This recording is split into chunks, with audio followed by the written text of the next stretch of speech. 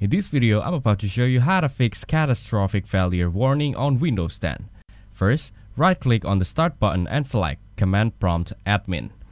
Then, type sfc slash scan now and press enter.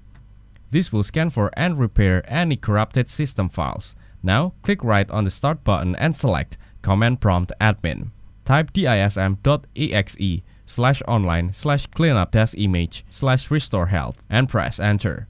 Then, this will fix any corruption in the Windows image. Then, go to Start and Settings. Then, go to the Update and Security.